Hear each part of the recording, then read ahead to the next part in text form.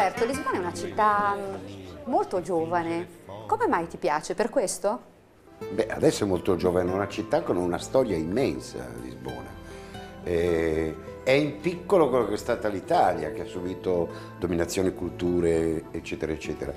Quando vado a Lisbona e chiacchiero con la gente, con gli studenti, se ci vado ci vado anche per gli studenti, e mi piace questa pulizia di pensiero che hanno. Sono tutti un po' nipotini di, di Pessoa loro. Pessoa certo. è un idolo.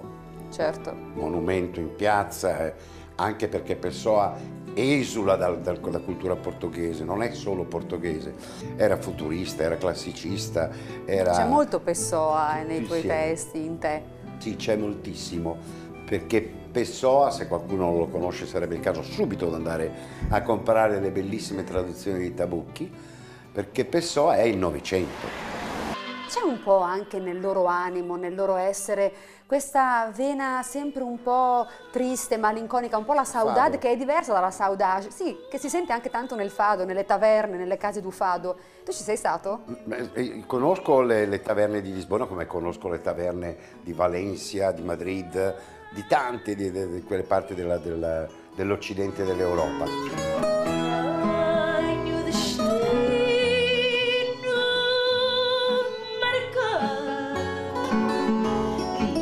Questo tipo di malinconia che viene dal nostro, da una tristezza antica, di un posto mai raggiunto, per cui continuano, continuano, a partire per tornare, questa malinconia eh, diventa anche al, al, quasi allegra a un certo punto.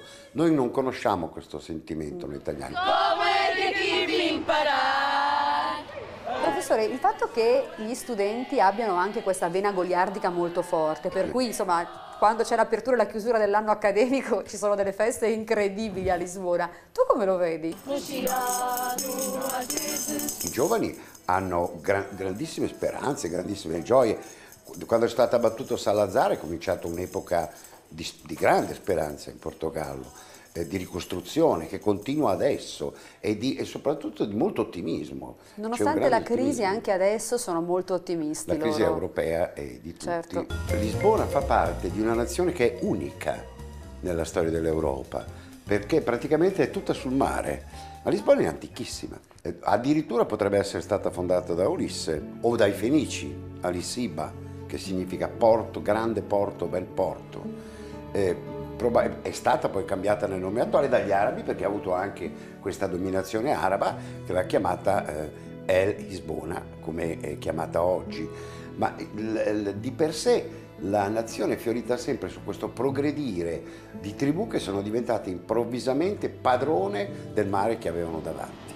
E quindi è il mare la dimensione di Lisbona.